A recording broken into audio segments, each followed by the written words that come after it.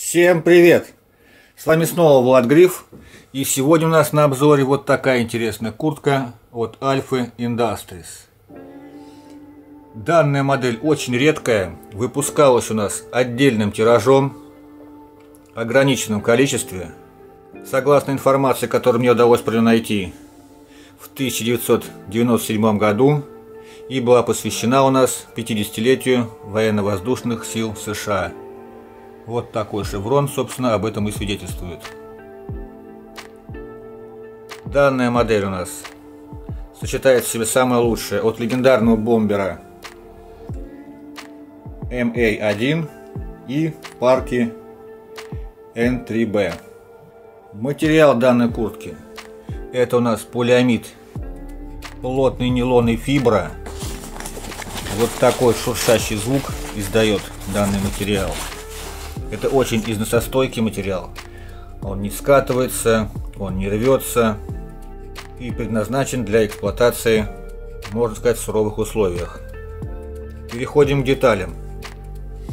Куртка у нас имеет молнию.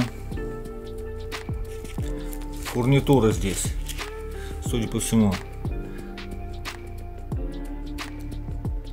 от неизвестной мне фирмы, но это очень добротная, очень качественная, насколько я могу судить, фурнитура. Также у нас имеется штормовой клапан.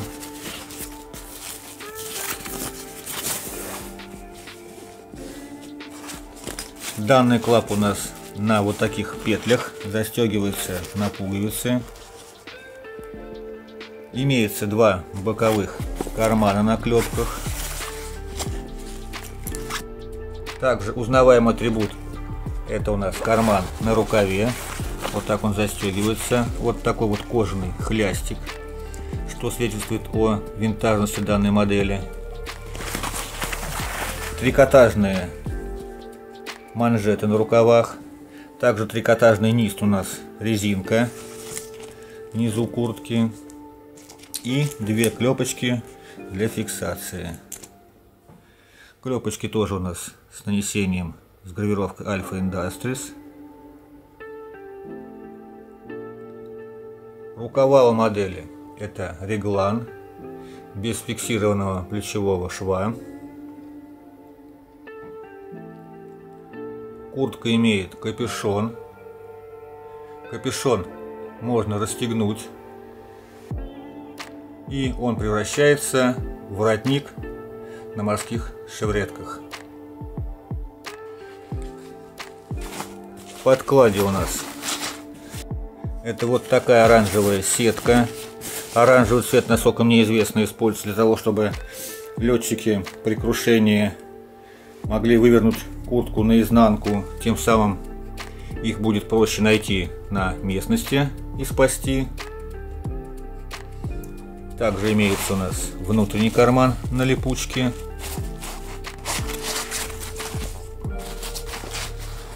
По размеру, по размеру у нас это S, причем, наверное, на S она и идет. И я бы сказал, даже на стройную фигуру она более подойдет. Вот такой у нее, можно сказать, крой. Именно эта куртка досталась мне от человека, который совершал восхождение в горы, брал ее с собой, в частности, ночевал в ней на перевале Студенческом, это 4200 над уровнем моря, и была на него с собой при восхождении на Эльбрус, по-моему, 6400 над уровнем моря. В общем, куртка для, я бы сказал, экстремальных условий. Ветер она держит, влагу она держит, Интересная редкая модель.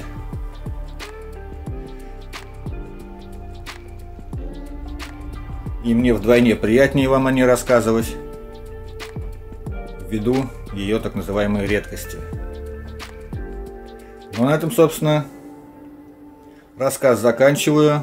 Как всегда, всех благодарю за просмотр, за ваши лайки, за комментарии, за подписку. Всем добра! Всем хорошего настроения.